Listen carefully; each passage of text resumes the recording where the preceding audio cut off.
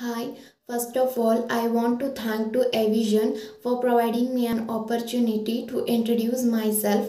My name is Sharmila. I am from Shivamogga, Karnataka state. I have completed my bachelor's of engineering in electronics and communication department from JNN College of Engineering with an aggregate of 6.4 CGPA in 2019.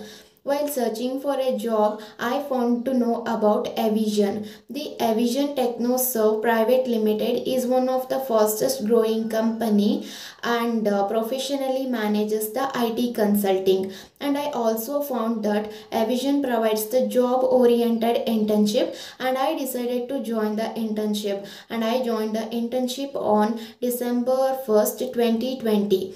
After joining the internship, I got an opportunity to learn the real-time exposures on core technologies like uh, CCNA, Linux administration, virtualization and Windows administration. The Evision TechnoServe provides the good service as there are different trainers for each and every different topics like uh, Roshan sir, Rahul sir, Bibhushit sir and Tharun sir and uh, I want to share that what I learned in an internship. In CCNA, I learned about network fundamentals, all the protocols, routers and the switches and how to configure the routers and uh, how to check the connectivity between the devices in the network. And in windows administration i learned about what's the difference between workgroup and the domain and how to configure the domain and how to create the user and the administrator account and how to download and install the client and the server operating system and how to configure the outlook and how to take a backup of the outlook files and uh, troubleshooting of the bsod error and the black screen error and the configuration of the printer.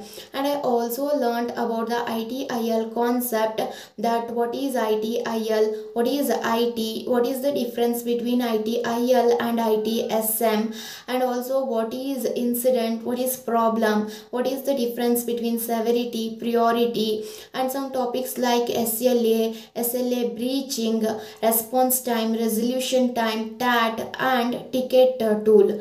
And uh, i also want to say that each and every practical is equivalent to the experience in the IT industry.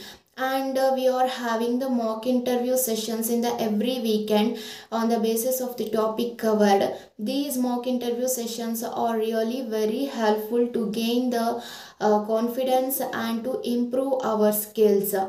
And um, uh, and now I am confident to show my skills in the real time interview also.